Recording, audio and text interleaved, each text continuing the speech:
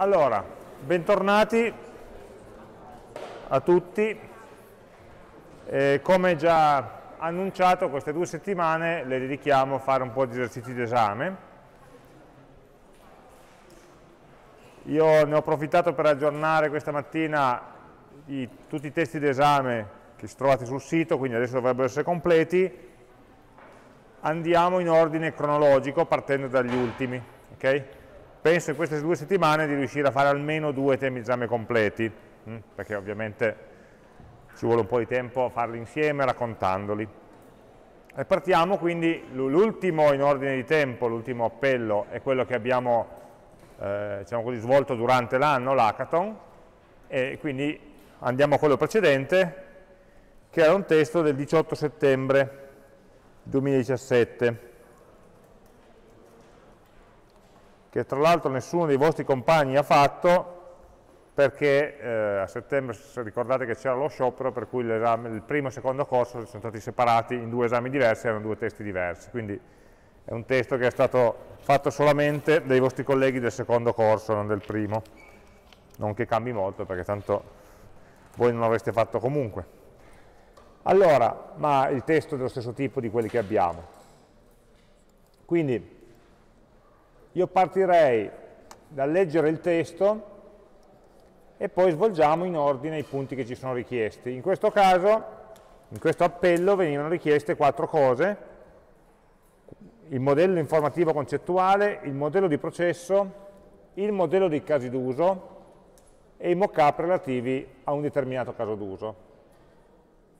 Queste prime due domande ci sono sempre e sono sempre uguali.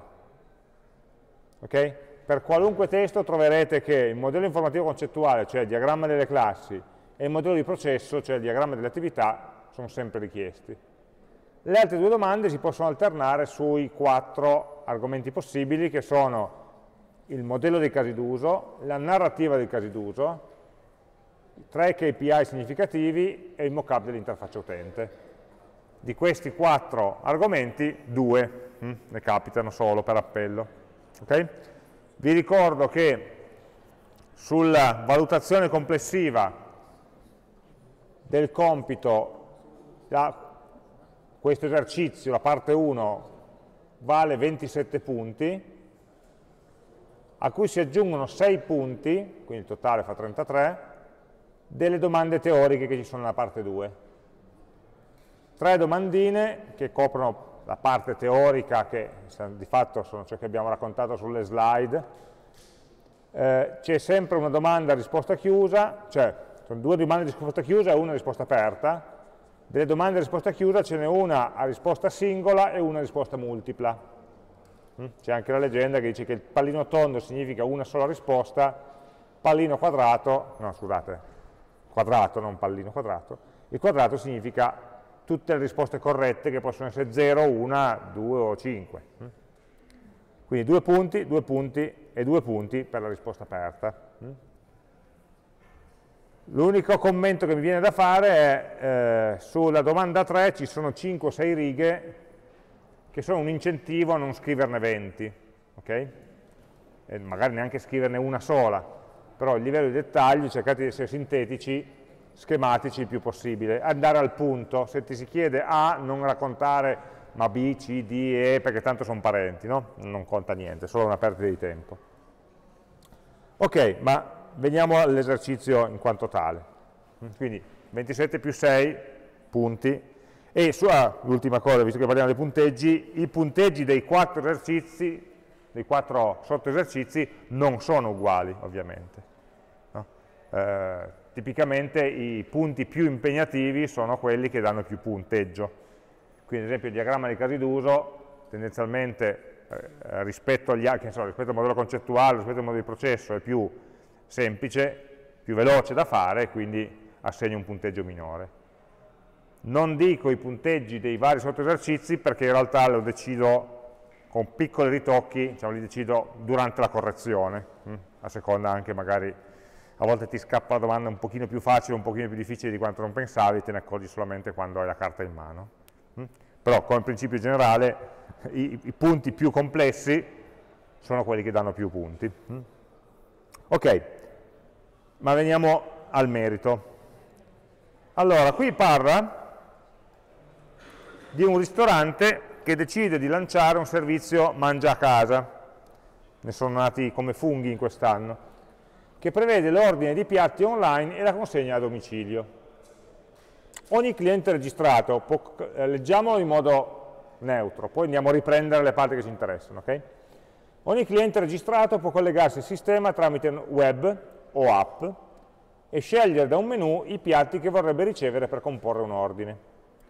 Per ogni piatto il cliente può vederne il nome, la foto, una descrizione, gli ingredienti, le indicazioni sugli allergeni, informazioni nutrizionali e il prezzo. Inoltre per ogni piatto è noto il tempo di preparazione. Per ogni cliente, oltre a nome, cognome, email e telefono, è noto l'indirizzo di casa, che permette di calcolare tramite servizi esterni il tempo di trasporto stimato, oltre che aggiungo io di portarglielo effettivamente a casa, visto che ce la consegna a domicilio.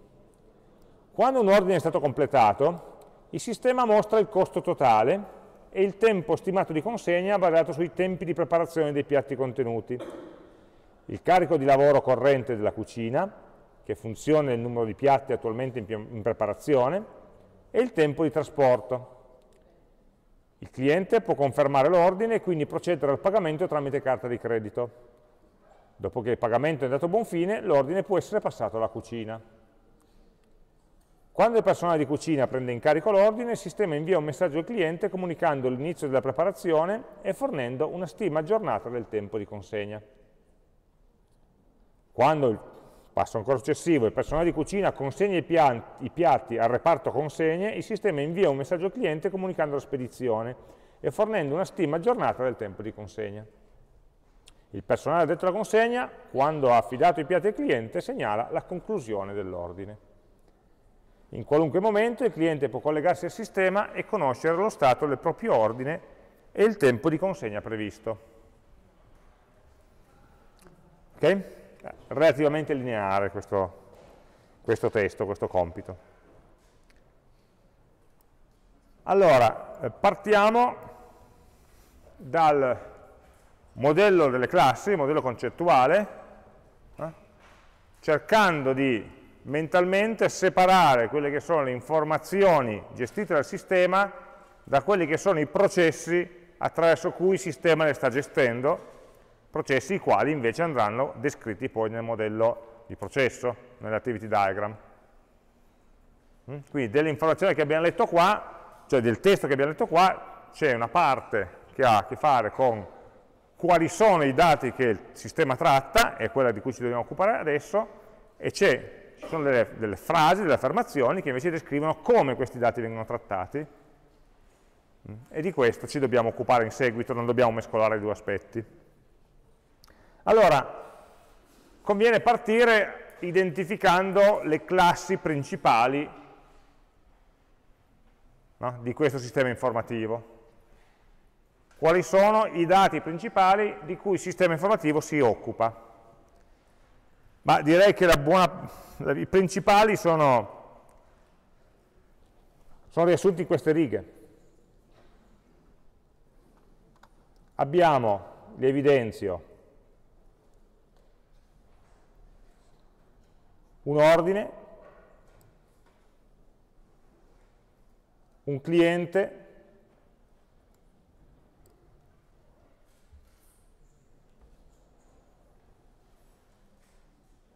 dei piatti, l'ordine è fatto da piatti,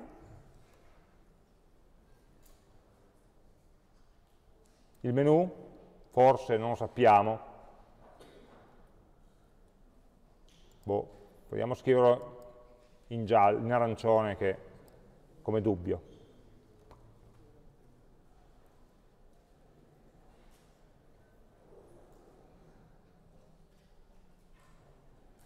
Essenzialmente abbiamo clienti che fanno ordini e gli ordini sono composti da piatti. Il cuore è questo.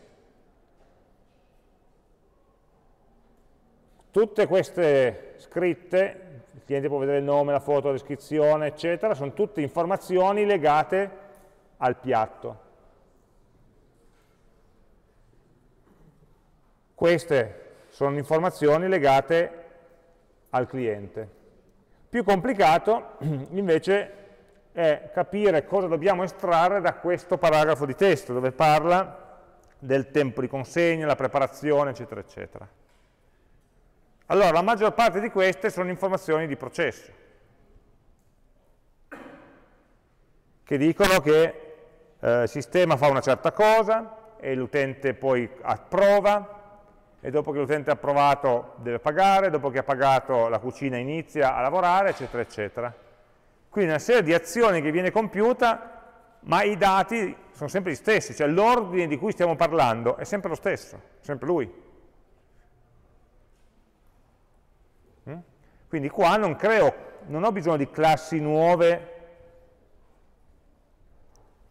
a prima vista almeno, poi magari andando nel dettaglio salta fuori qualche cosa. Ma ci fa vedere, ci racconta come evolve diciamo, l'informazione che è contenuta nella classe ordine.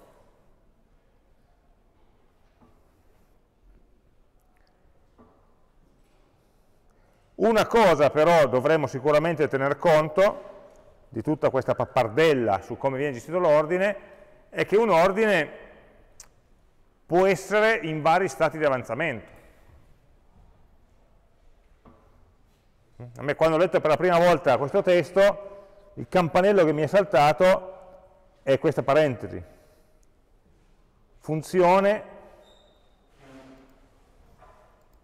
del numero di piatti attualmente in preparazione. Cioè, come faccio a sapere quanti piatti sono in preparazione? Allora, leggendo questo testo mi sono chiesto come faccio a saperlo? E dovrò tenere traccia tra tutti gli ordini che sono stati fatti, quali ordini sono già stati confermati, pagati e quindi in preparazione ma non ancora consegnati. Mm? Quindi in qualche modo la, la classe ordine che era su, ha due tipi di informazioni. Uno è di che cosa è composto l'ordine, cioè quali piatti, e l'altro a che punto siamo con la preparazione di quell'ordine, lo stato di avanzamento. Allora, proviamo a mettere in bella questi ragionamenti.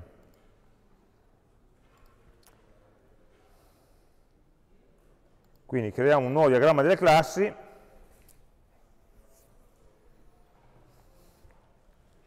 che chiamiamo, come si chiama sta roba qua? Mangi a casa, tristissimo nome.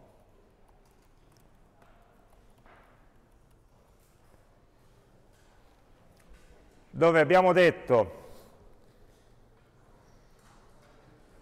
la classe cliente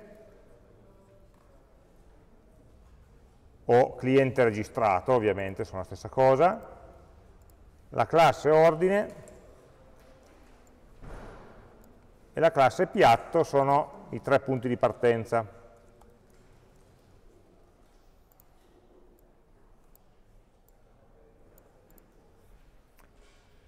Allora, perché ci serve una classe cliente?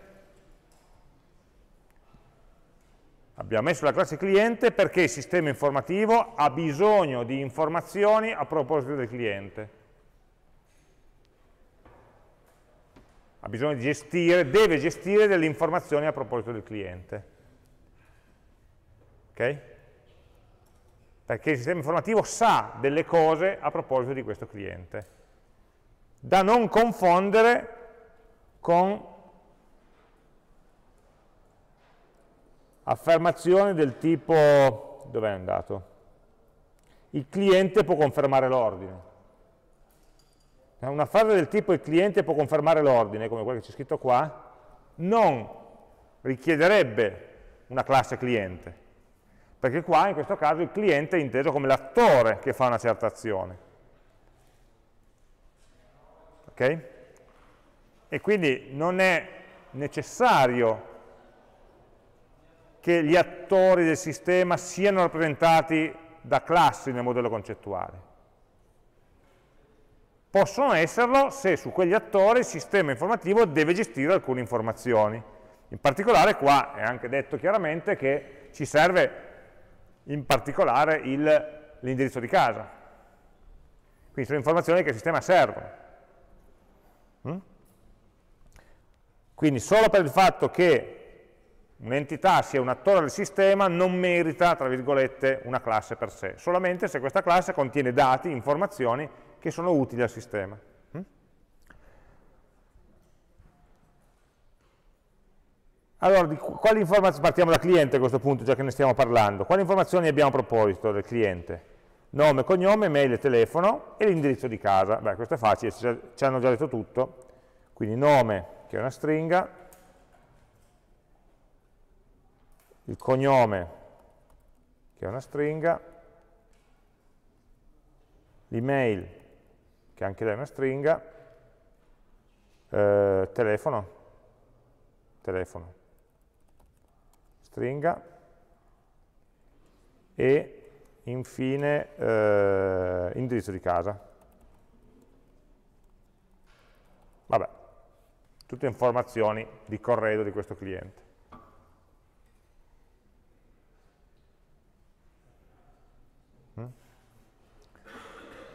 Sì, avrà anche una login, una password, ma le informazioni sull'autenticazione noi le lasciamo fuori, eh? diamo per scontate, sono, sono informazioni che servono per entrare nel sistema, poi una volta che sei dentro il sistema non ti interessano più. Ok? Allora, questo cliente può comporre degli ordini.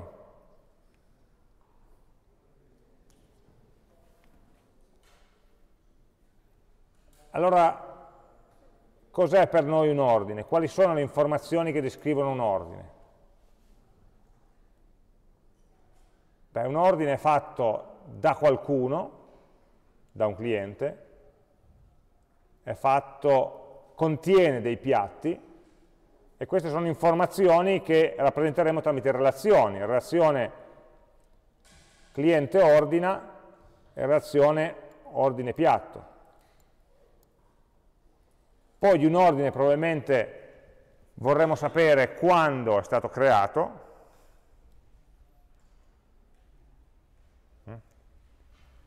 quindi la, ora di cre la creazione, creato, date time, scriviamo così. Data e ora in cui questo ordine è stato creato, e come minimo ci interessa sapere qual è lo stato di avanzamento di questo ordine.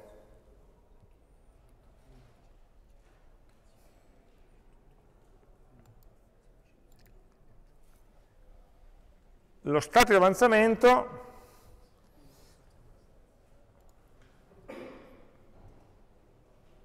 di un ordine, adesso poi ci torniamo, ci dice, vediamo se c'è un int, una stringa o un'altra cosa, è un'informazione che ci dice se questo ordine a che punto è nella lavorazione. Mm? E ci serve per conoscere tutta una serie di cose, tipo quanti piatti no, ci sono attualmente in lavorazione nella cucina. Allora devo andare a prendere tutti, ordini, tutti i piatti relativi agli, a tutti e soli gli ordini che sono attualmente in lavorazione.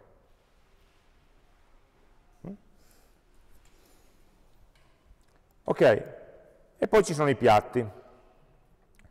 Questa relazione tra cliente e ordina può essere una, una relazione ordina, il cliente ordina un ordine, scusate la ripetizione, e l'ordine contiene dei piatti.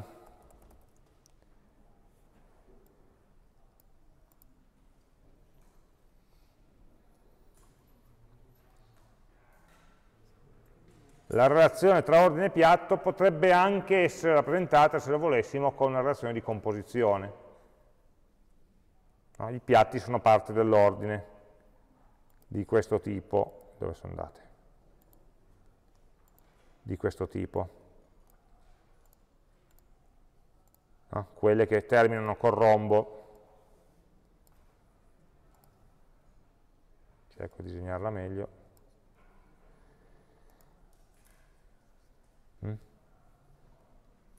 perché di fatto l'ordine è composto da, i piatti sono le parti dell'ordine, quindi potete fare in entrambi i modi.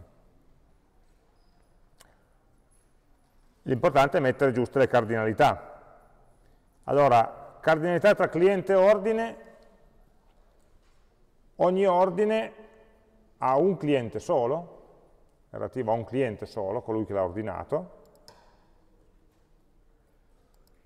esattamente un cliente, non può esistere un ordine senza cliente e non può esistere un ordine con più di un cliente. Il cliente viceversa potrà fare invece molti ordini. Mettiamo 0 asterisco perché magari appunto lui si è appena registrato, non ha ancora fatto nessun ordine, e poi può, può in, in giorni diversi presumibilmente fare ordini diversi.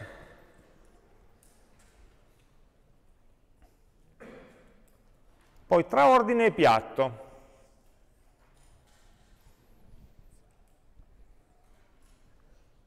Allora, chiediamoci cos'è un piatto. E qui è una domanda che dobbiamo farci sempre. Un piatto è il piatto di spaghetti o è questo piatto di spaghetti? Se io in un giorno preparo 100 piatti di spaghetti, avrò un oggetto di tipo piatto che rappresenta il piatto di spaghetti, la voce generica del menu, oppure ognuno di questi piatti di spaghetti avrà un oggetto singolo che lo rappresenta. Sono due modi diversi di pensare.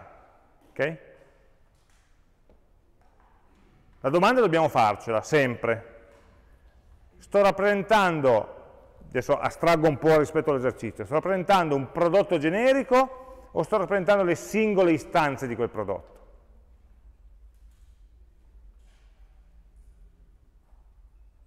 Mm? Allora, in questo caso, come faccio a distinguere? Beh, innanzitutto la domanda più semplice da farsi e rispondersi per capire se sono in un caso o nell'altro è chiedersi quanti sono. Quando vengono creati questi oggetti? Da chi? Da chi? Quanti ce ne sono? Quali sono? Fammi un esempio. Adesso noi qua stiamo facendo un diagramma astratto, generico, ma in testa dobbiamo darci degli esempi. Allora, esempi di cliente, io posso pensare a Giuseppe, Antonio e Francesco. E che Giuseppe abbia fatto tre ordini, uno lunedì, l'altro martedì, l'altro mercoledì. E che in quell'ordine Cosa conteneva?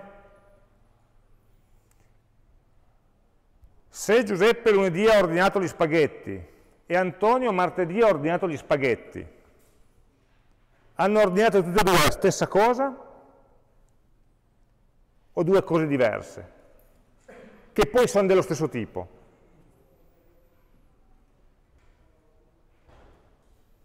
Mm? Sono due modi diversi di rappresentare le stesse cose.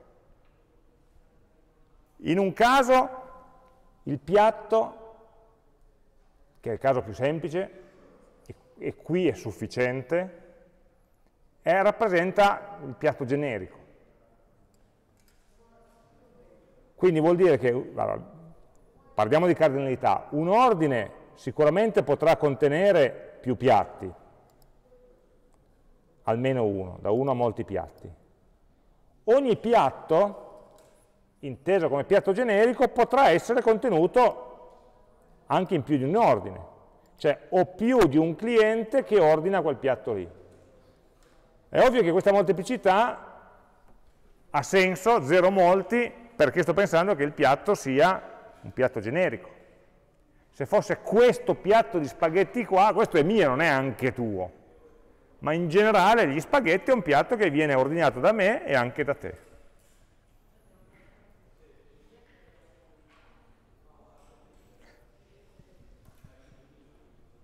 Ok? L'alternativa quale sarebbe? L'alternativa sarebbe di avere una classe in più, quindi fatemi fare un altro diagramma alternativo, in cui ci metto lo stesso ordine, ci metto piatto, togliamo per un attimo questa relazione,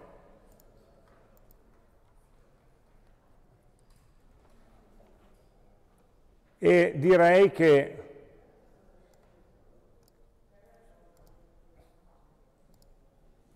tra ordine e piatto ci metto ancora un'altra classe, che adesso non so come chiamare, eh, porzione. Hm?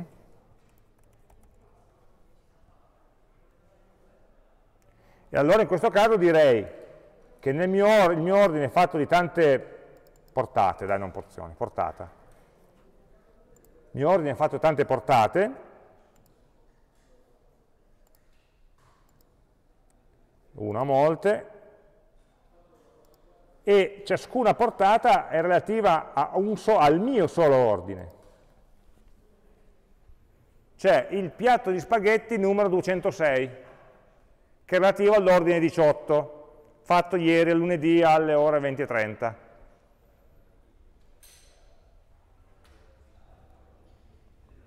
Poi è ovvio che queste portate dovranno essere di un certo tipo, di un tipo di piatto, ben preciso. Cioè il mio ordine è fatto di tre portate, la prima portata sono gli spaghetti, la seconda portata è il pollo arrosto, la terza portata sono le patatine.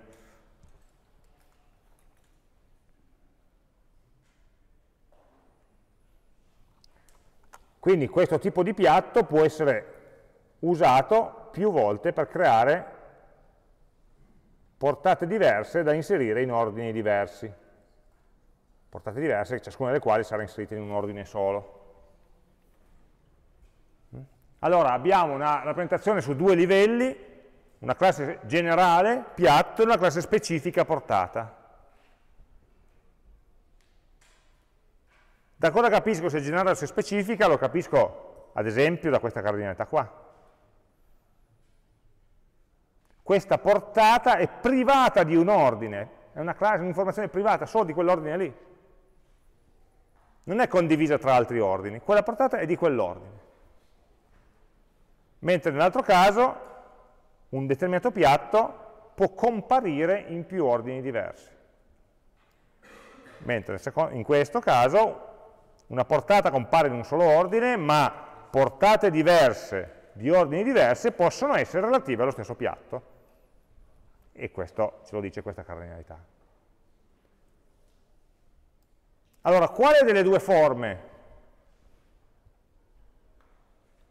è più adatta? E dipende essenzialmente dalle informazioni, se e quali e quante informazioni abbiamo da gestire a livello di dettaglio.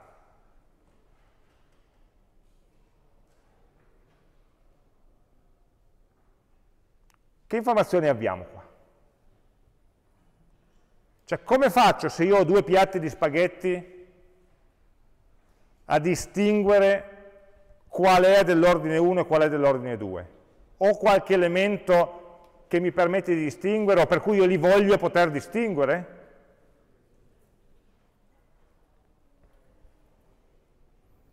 In base al testo che abbiamo appena letto, no.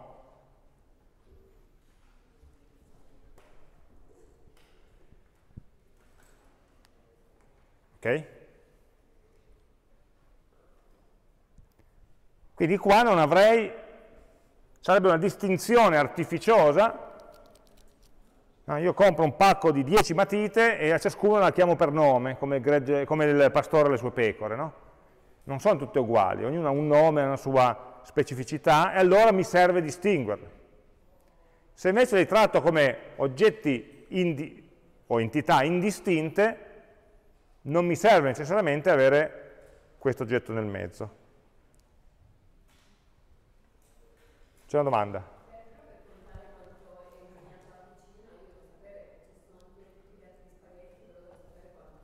Lo so.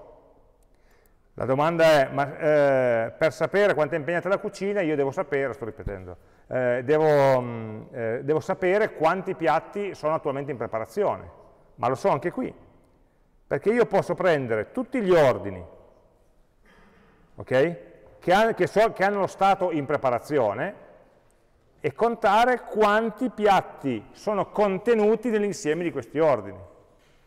Quindi se ho un ordine che contiene un piatto di spaghetti e un altro ordine che contiene un piatto di spaghetti, un solo ordine e 5 piatti di spaghetti, ottimo, ci manca un pezzo. Allora, quello che sta dicendo lei dice come facciamo a gestire un ordine che abbia più di un piatto dello stesso tipo. Ma in realtà anche qui, eh? o meglio, qua potrei, se io avessi tre piatti di spaghetti, creare tre portate, tutte e tre del tipo spaghetti.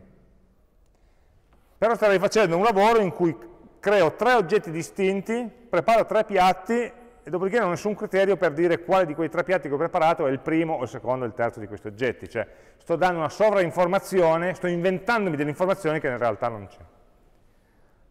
A me serve però sapere giustamente quanti piatti sono stati preparati. Dove la metto questi, quanti piatti di ciascun tipo sono stati ordinati, non preparati, scusate. Dove la metto questa informazione? Nella relazione. Nella relazione tra ordine e piatto. Quindi in realtà questa relazione non è solamente contiene, ma dovrebbe essere un'association class contiene che ha come attributo almeno la quantità. E le cardinalità sono sempre le stesse, 1,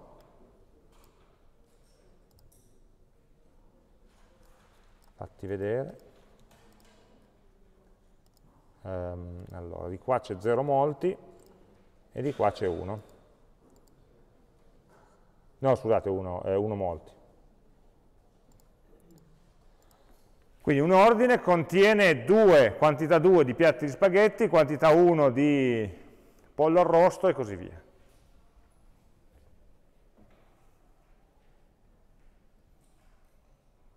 Anche nell'altro caso sarebbe più utile, anche qua se volessimo indicare la quantità, metterla nella portata oppure creare più portate uguali.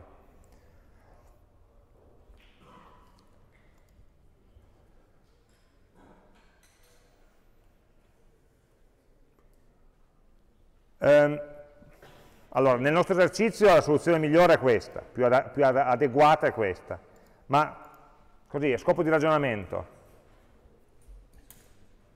se la soluzione dovesse essere questa, parliamo degli attributi, dove lo metto il prezzo?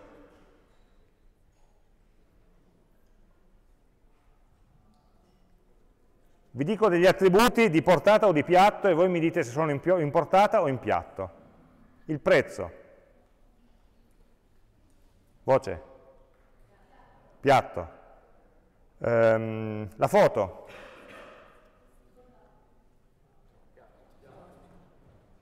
Dipende. Se è la foto generica pubblicitaria del menu, in piatto. Se invece queste nostre sono creazioni artistiche delle torte super artigianali, allora ci vuole la foto di quella specifica e allora la metto in portata. No? Però nel contesto del mangia casa ovviamente sta in piatto. Le varianti, tipo poco salata, non piccante, senza cipolla. Qui ho due modi.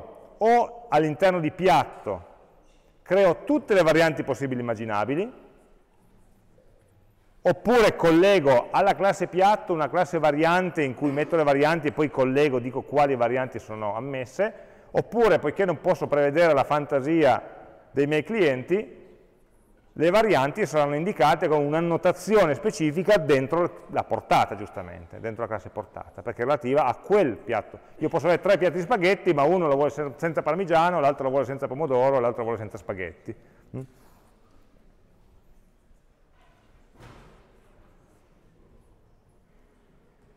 Um, Chi crea un nuovo oggetto di tipo portata? L'azione di quale attore fa sì che si creino nuove portate? Del cliente. L'azione di quale attore fa sì che si creino nuovi piatti?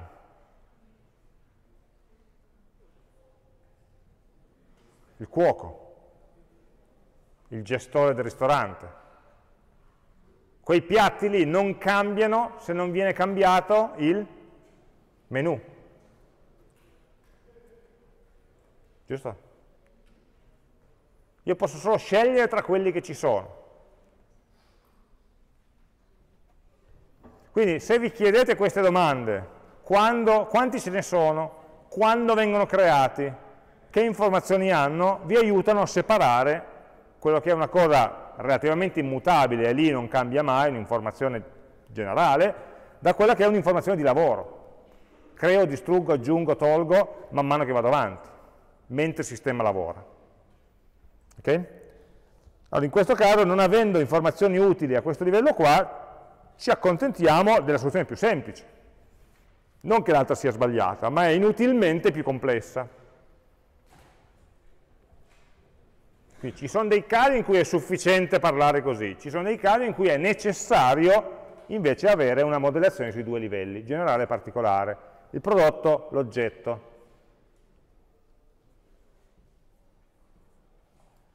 Questo è un problema che negli vari esercizi è sempre saltato fuori nei voli aerei, nella lista nozze, in questi vari esercizi che abbiamo visto durante l'anno, c'era sempre questa dualità. A volte non vi è saltata all'occhio, però ricordatevelo sempre, no? almeno di farvi queste due o tre domande per accertarvi di non dimenticare dei pezzi. Va bene. A questo punto possiamo provare a ad aggiungere, avendo chiarito che cos'è per noi il piatto, possiamo provare ad aggiungere gli attributi che dicono che ogni piatto il cliente può vedere il nome, la foto, la descrizione, gli ingredienti, allergeni, informazioni nutrizionali e prezzo e tempo di preparazione. Mm? Qui distingue tra il cliente può vedere certe cose e è noto. È noto vuol dire che il sistema informativo lo deve sapere, ma magari non viene mostrato all'utente. Allora, nome, foto, descrizione. Vieni. Nome, stringa. Foto, eh, foto. Mettiamo immagine. No, cosa ho fatto? Nome. Invio. Foto, image. Poi aveva la descrizione che è un testo,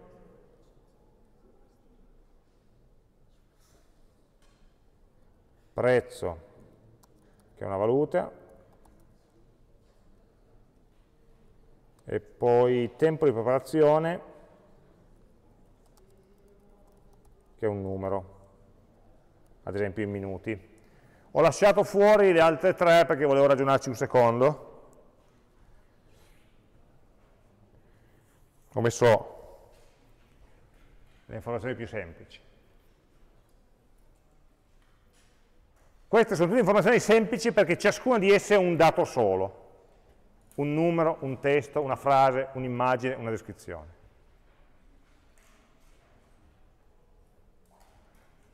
Le altre descrizioni, le altre informazioni, pardon, gli ingredienti, indicazioni sugli allergeni, informazioni nutrizionali sono scritte plura al plurale.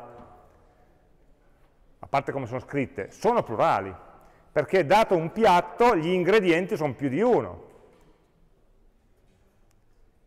Gli allergeni possibili sono più di uno. Informazioni nutrizionali non so bene cosa voglia dire, eh, ma tipicamente può rappresentare l'etichettina che vediamo su alcune scatole che ti dice quanti eh, carboidrati ci sono, quanti grassi, quanti zuccheri, eccetera, eccetera. Allora, ciascun piatto non ha un ingrediente ma ha più ingredienti. Quindi gli ingredienti non possono essere un attributo di piatto. sono obbligato a metterli in una classe separata con una relazione 1 a molti, perché ciascun piatto può avere molti ingredienti. Okay? Ogni attributo contiene un valore. Non ha senso avere attributi di tipo vettore, di tipo lista, di tipo array o altro. No? Quindi l'ingrediente di per sé non era una classe che ci paresse importante. No, quando abbiamo letto ho detto, bah, sì, le classi sono ordine, piatto, ma non ingrediente, non è saltato all'occhio. Infatti non è una classe di per sé importante, però è un, un elemento di informazione che compare più volte all'interno di un'altra classe e quindi noi non avendo in, nei class diagram la rappresentazione di un attributo multivalore, per modellarlo dobbiamo ricorrere a una relazione 1 a molti con una classe separata. E vabbè, lo facciamo. Quindi avremo, fatemelo mettere sotto, così ho spazio a destra, un'altra classe che chiamo ingrediente, che avrà ovviamente un nome, e un determinato piatto sarà composto di uno o più ingredienti.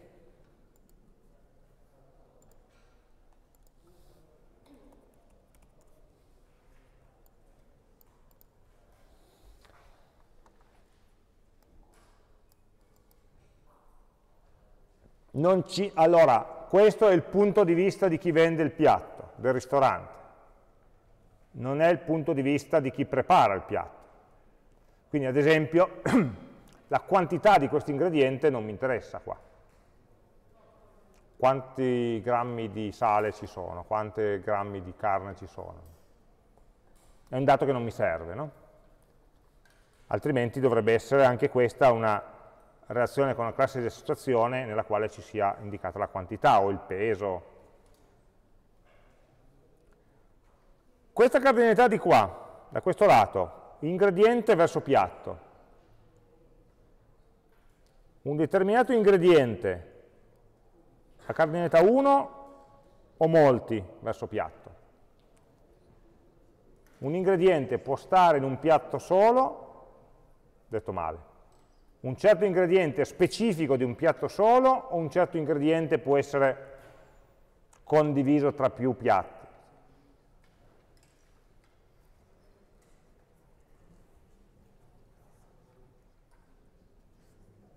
La risposta è sempre dipende cosa intendiamo con ingrediente.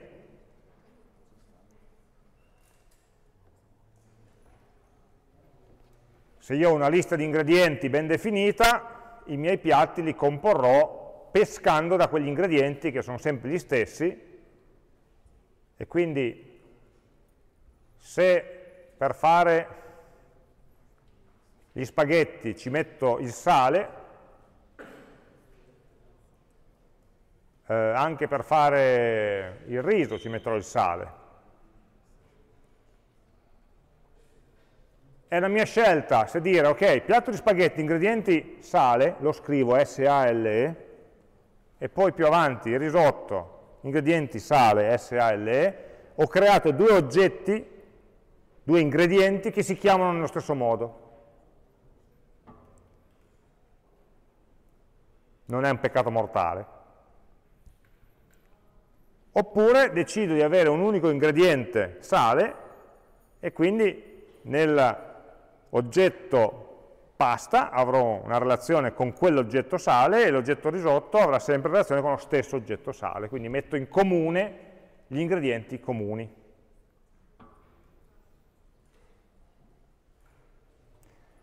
A cosa mi serve metterli in comune? Ha un senso metterli in comune? Ricordate il primo esercizio che abbiamo fatto, quello dei fiori, delle piante, no? Si diceva, eh, ma se due piante hanno lo stesso prezzo, e eh, vabbè, hanno lo stesso prezzo. Avrò due oggetti che hanno un attributo uguale, pazienza. Allora ho due ingredienti che si chiamano entrambi sale, va buon, pazienza. Ho due persone che si chiamano entrambe Antonio, vabbè, mica faccio la classe degli Antonio, non mi serve. Allora, in questo caso mi serve mettere insieme gli ingredienti comuni a vari piatti? O non me ne frega niente e sono semplicemente delle scritte che devo aggiungere lì? Allora, è chiaro che la soluzione non me ne frega niente è più semplice, porterebbe ad avere una cardinalità 1 qui, per cui se capita, è come dire, il sale che metto nella pasta non è lo stesso sale, sì, fisicamente lo è, lo prendo sempre dallo stesso vasetto, ma non è lo stesso oggetto sale che metto nel riso. Perché li ho scritti due volte. Se invece voglio tenerlo insieme, mettere una cardinalità qua, 1 a molti, e sottintende che un determinato ingrediente può comparire lo stesso ingrediente in più piatti. Questo potrebbe tornare utile, ad esempio, se volessimo fare una ricerca per ingredienti. Mette che se io, io, sia intollerante a un determinato alimento, allora voglio andare a vedere tutti i piatti che lo contengono o che non lo contengono. Allora in quel caso è importante avere un catalogo fatto bene, validato, certificato quasi degli ingredienti e di quali piatti contengono quali ingredienti. In questo esercizio non mi pare che ci siano indicazioni né in un senso né nell'altro, cioè possiamo fare un po' come vogliamo. Non c'è da fare nessuna ricerca per ingredienti, nessuna altra cosa particolare, oppure penso ci fosse una ricerca del tipo trovami piatti simili, allora per piatti simili andrò a vedere quelli che hanno ingredienti simili, allora lì è importante andare a, a far puntare lo stesso ingrediente due piatti che usano effettivamente lo stesso ingrediente e non e non andare a vedere cosa c'è scritto dentro questo nome. L'uguaglianza di oggetti non è mai l'uguaglianza dei valori delle stringhe che ci sono scritte dentro, perché le stringhe che sono scritte dentro possono essere scritte in cento modi diversi. Invece un oggetto o è lui o non è lui, se ragioniamo sulle cardinalità. Quindi in questo caso entrambe le soluzioni per me sono valide, per me, per questo testo, per questo problema, rappresentano due soluzioni diverse, due pensieri diversi, con l'uno molti io, già, io mi immagino già un'interfaccia utente in cui quando devo definire un nuovo piatto ho una tendina con tutti gli ingredienti scelgo quale mi serve. Mentre invece con l'uno mi immagino un'interfaccia utente in cui c'è il campo di testo e scrivo io l'ingrediente a mano, perché ogni volta verrà aggiunto nuovo. Mm? Non mi fa rabbrividire né l'una né l'altra soluzione, vanno bene entrambe. La cosa importante, per cui ho speso questi minuti a, a, a ragionare su questo, è che siate coscienti che state facendo una scelta. Vi fate la domanda, vi date la risposta, benissimo. Se non vi accorgete che state facendo una scelta e quindi non vi fate questa domanda, eh, rischiate di dimenticarvi un pezzo, di non fare un pezzo di ragionamento che potrebbe servire. Perché in, alcuni, in questo caso è indifferente, in alcuni casi invece no, non è indifferente. Mm? Ok, lo stesso vale, direi addirittura di più, per gli allergeni. che è una cosa diversa rispetto a un ingrediente,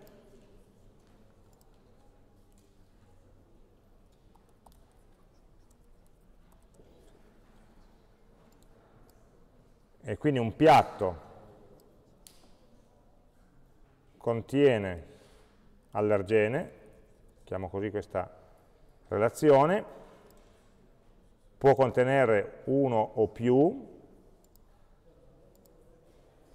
zero o più, scusate, un bicchiere d'acqua per fortuna non ne contiene, e qua invece sarei fortemente per dire zero molti,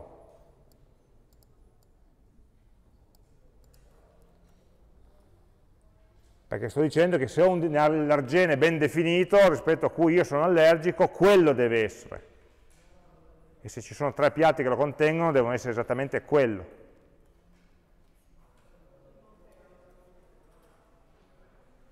Mm? Il fatto che sul risotto ci sia scritto un po' di sale, sulla pasta ci sia scritto sale, grosso, non mi cambia nulla, sono due. Ma il fatto che un allergene io dico questo qua no perché ha questo allergene, quest'altra ricetta invece penso di poterla mangiare solo perché quell'allergene è stato scritto in un modo diverso e non è stato riconosciuto che si trattava dello stesso, quello è un problema. Quindi in questo caso non mi piacerebbe vedere un 1 in cui gli allergeni sono aggiunti così. L'ultima cosa sono informazioni nutrizionali. Sì, dimmi. Associare allergene a ingrediente. Ehm, non lo so. Eh, non so abbastanza di chimica degli alimenti per sapere se gli allergeni sono propri di un determinato ingrediente o anche di come viene preparato.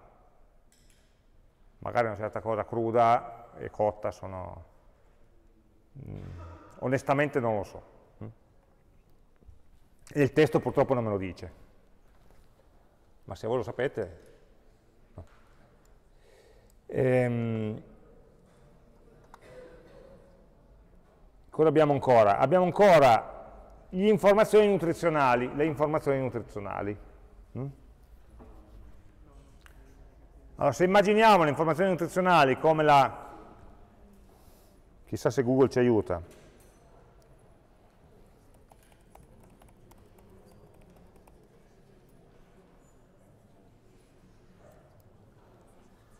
Eh, una cosa del genere, dai. Sono queste cosine qua che tutti noi leggiamo sempre bene, capiamo esattamente cosa vogliono dire, mm? ma dal punto di vista del sistema informativo sono una tabella di dati. Quindi a un determinato alimento, a un determinato piatto, sono legati più attributi, ciascun attributo ha dei valori.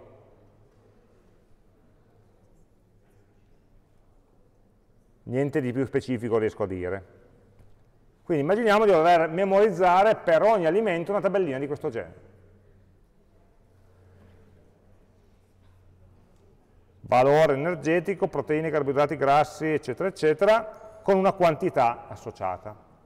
Quantità misurata, che ne so, per 100 grammi o per porzione. Quindi abbiamo delle proprietà nutrizionali che ciascun piatto ha, no, pardon, ma ciascun piatto ha in quantità diverse, quindi qua ci vuole la nostra cara bella classe di associazione,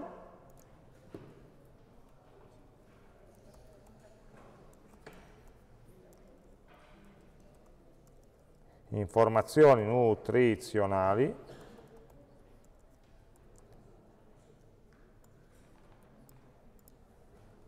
in cui un determinato piatto ha più proprietà nutrizionali, da 0 molte, la proprietà mi dà il nome e nella classe di situazione ci metto il valore.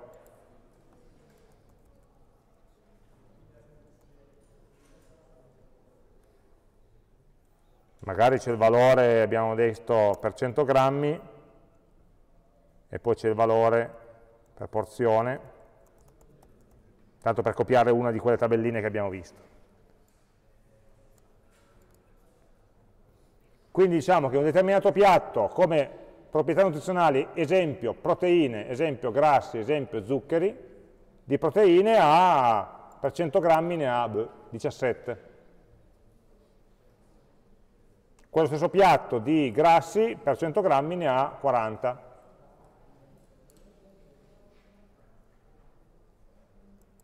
Quindi le relazioni sono da piatto verso proprietà,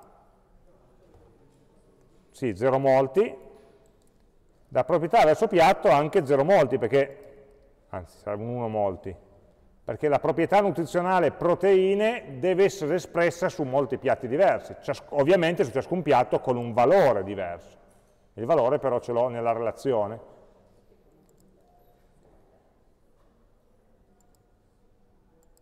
Quindi uno molti.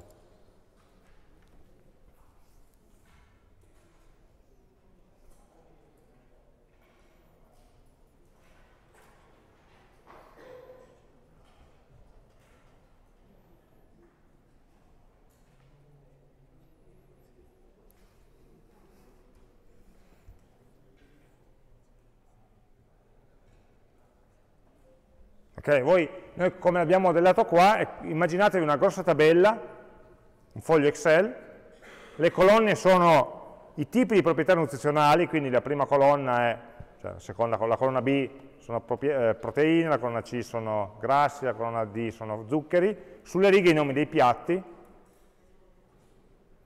E all'interno della casella i valori nutrizionali, all'interno di ogni combinazione tra piatto e tipologia di proprietà nutrizionale.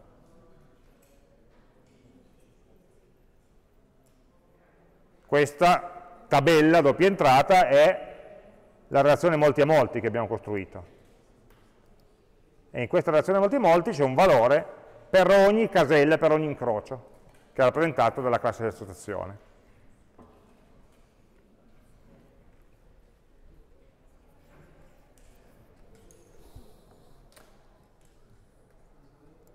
Ok, ci siamo purtroppo dilungati negli attributi di piatto, perché purtroppo erano attributi molteplici e ripetuti, cioè lo stesso attributo si ripeteva in più oggetti e quindi abbiamo dovuto fare questo ragionamento sull'oggetto che è presente in più piatti diversi.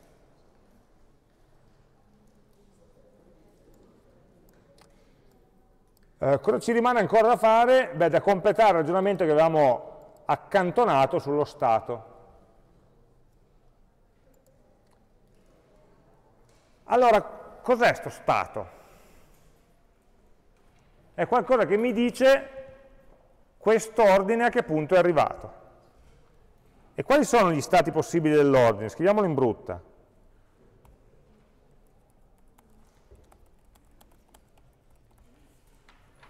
Allora, andiamo a leggere un po' il testo. La prima cosa che fa il cliente è comporre un ordine. Mm, quindi un ordine può essere appena composto, chiamiamolo nuovo. Ok? Poi può essere eh,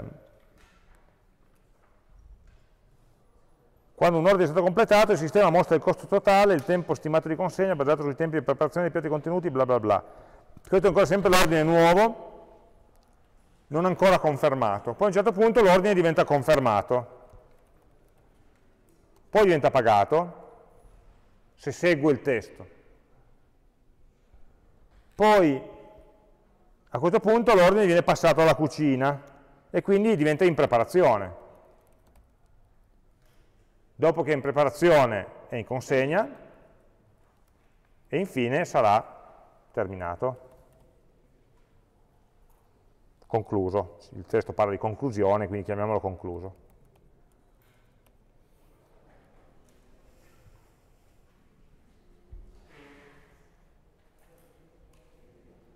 Quindi voi immaginatevi di aprire il modello concettuale, fare una fotografia del database e vedete dentro mille ordini. Di quei mille ordini, 980 sono conclusi, perché sono quelli del, dei mesi precedenti, e dei restanti 20 ce ne sono due nuovi, perché ci sono gli utenti che stanno, li stanno compilando, uno confermato, uno già pagato, quattro in preparazione e tre in consegna.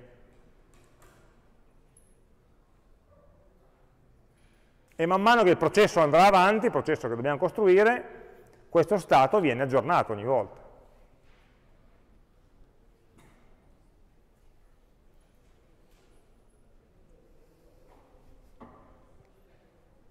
Ok? Allora, come rappresentiamo questa informazione? Questo è un attributo che può avere uno solo valore tra una lista ben definita di valori.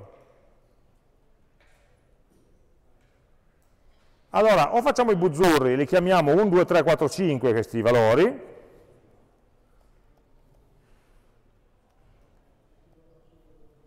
e allora ci va bene l'attributo stato intero,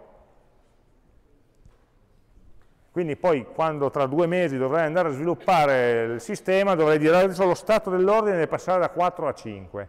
Eh? Cosa vuol già dire? Cos'è che vuol dire 4? A cosa serve il 5? Oppure cerchiamo di mantenere questa informazione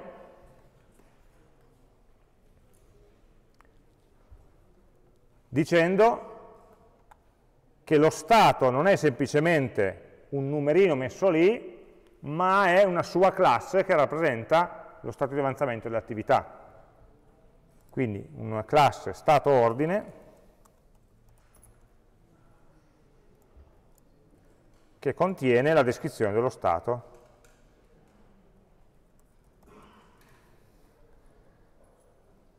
E quindi ogni ordine è esattamente in uno stato ben preciso, 1. E questo stato ordine ovviamente può, essere, può applicarsi a molti ordini. Cioè posso avere molti ordini in preparazione, molti ordini confermati e così via.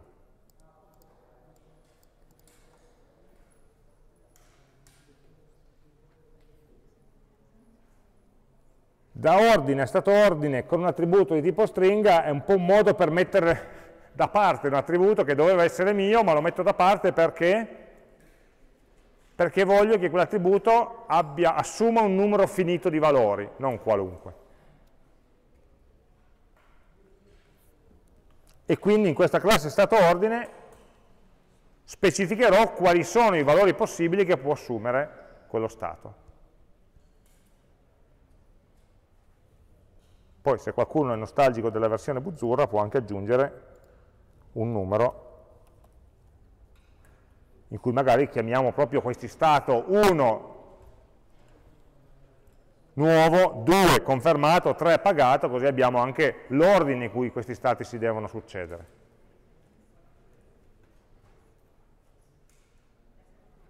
E quindi a questo punto nel testo ci chiedeva eh, stima il tempo di consegna basandoti sul numero di piatti in preparazione, eh, ho tutto qua. Vado a prendere lo stato in preparazione, dallo stato di preparazione vado a vedere quali sono tutti gli ordini che sono in questo stato, quindi navigo questa relazione e trovo l'insieme degli ordini. Per ciascuno di questo ordine vado a prendere tutti i piatti e di questi piatti sommo il tempo di preparazione. Fine.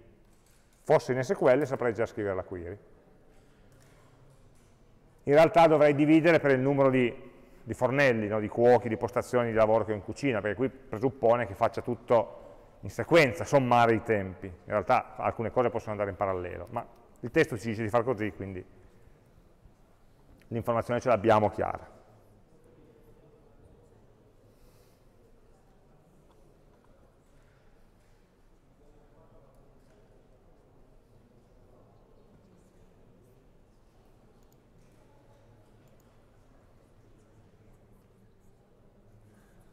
Ok. Sì, dimmi.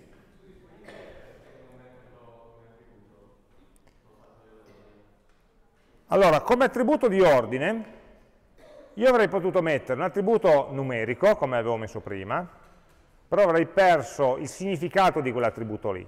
Cosa vuol dire 3? Così è più esplicito, eh, perché scrivo la descrizione dello stato come stringa che dice che cosa sta succedendo qua. Allora tu mi dici, ma allora nell'ordine potevi mettere la stringa. Potevi scrivere in preparazione anziché 3. Eh, però chi mi dice quali sono i testi possibili che posso scrivere lì dentro? Um, quando viene creato un ordine il cliente non, il cliente, non è il cliente a scrivere ordine nuovo, N-U-O-V-O.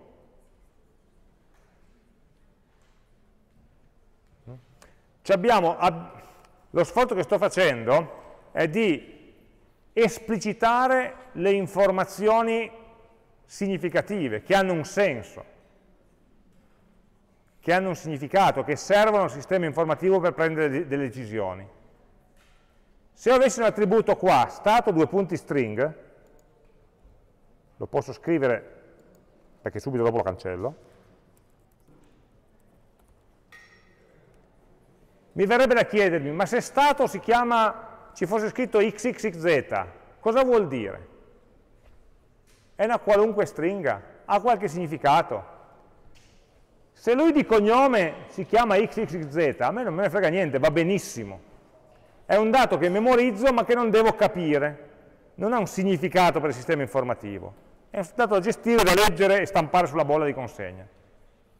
Questo invece è un dato su cui lui deve prendere decisioni, sapere quali sono le cose in, in preparazione.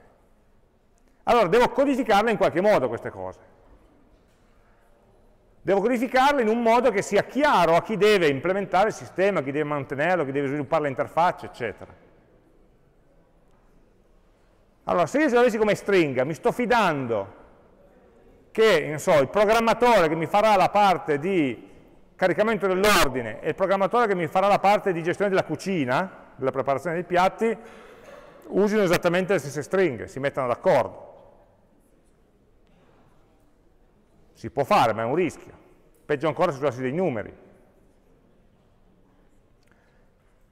Usare delle stringhe è ancora peggio perché se un domani volessi fare una versione in inglese del sito, avere quelle stringhe scritte dentro in italiano mi dà fastidio. No? Allora, io cerco sempre di guardare con sospetto ai dati di tipo stringa. I dati di tipo testo e di tipo stringa sono cose che devono essere lette, inserite, stampate a video, ma mai usate dal sistema. Il sistema non deve mai chiedersi questo è uguale a quell'altro confrontando due stringhe. Per sapere se due cose sono uguali, io vado a confrontare se sono lo stesso oggetto o se sono due oggetti diversi. E quindi a livello dichiarativo, cioè avendo dichiarato già qua nel modello concettuale, è impossibile per chiunque creare un ordine con uno stato che non sia uno di quelli che ho previsto nella classe stato ordine. È vietato a chiunque di scrivere uno stato sbagliato, o di dimenticarsi quale sia il valore numerico da associare allo stato, perché ce l'ho qua esplicito, legato alla descrizione.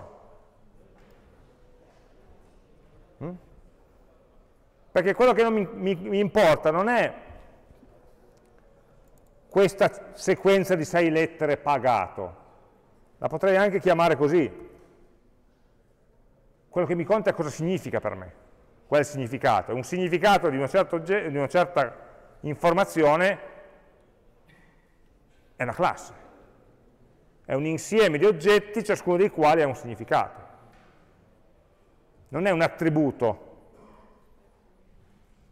cioè un di più che aggancio, associo a, un oggetto per, per, dare informazioni in più, per decorarlo in qualche modo. Mm? Non, non so se sono riuscito a non cadere nella filosofia nel cercare di spiegare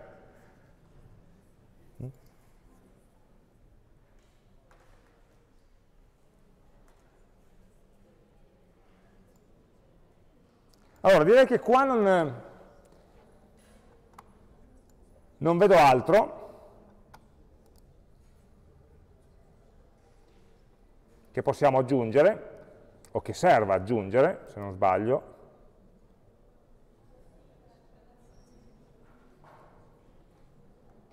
Il cliente può, vediamo l'ultima frase, il cliente può collegarsi al sistema e conoscere lo stato del proprio ordine e il tempo di consegna previsto. Allora, in realtà questa frase è sbagliata, perché dice che il cliente può conoscere lo stato del proprio ordine. Noi abbiamo invece un cliente che può fare più ordini. Mm? Quindi in realtà la frase vera dovrebbe essere, il testo dovrebbe dire il cliente può vedere lo stato dei propri ordini, o meglio, dei propri ordini non ancora conclusi perché di quelli conclusi magari non ci interessa. Mm? Oppure il testo avrebbe dovuto dirci il cliente non può fare un ordine se ne ha, uno, se ne ha già uno aperto. Vabbè, è una, una delle tante imperfezioni e ambiguità che saltano fuori ovviamente in una descrizione a parole. Noi nella nostra descrizione è chiaro che un cliente può, avere, può benissimo avere anche più di un ordine contemporaneamente aperto, in preparazione o in consegna e il tempo di consegna previsto lo sappiamo anche calcolare, perché dato l'ordine, il tempo di consegna qual è? È la somma di tutti i tempi di tutti i piatti, bla bla bla. Questo tempo di consegna viene usato più volte, perché guardate qua, il cliente prendiamo un colore diverso, se ci riesco, vabbè, farò qua.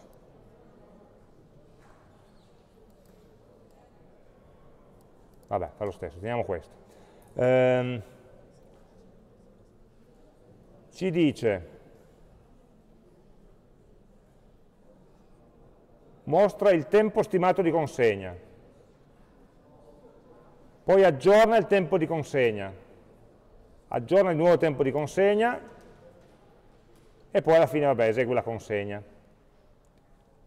E però questo tempo di consegna lo, lo devo poter vedere in qualunque momento.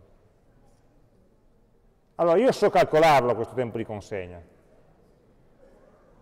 però visto che è un dato che uso più volte, potrebbe potrebbe, ma non lo, non lo vedo come un obbligo,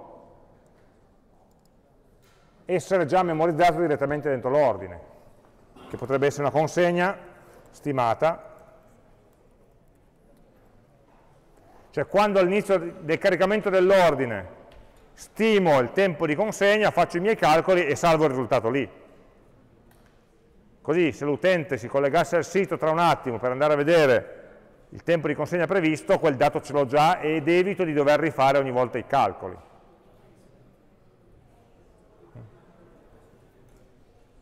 E se no, se non lo salvo, dovrò ogni volta ricalcolarlo. Non è una cosa particolarmente onerosa. No?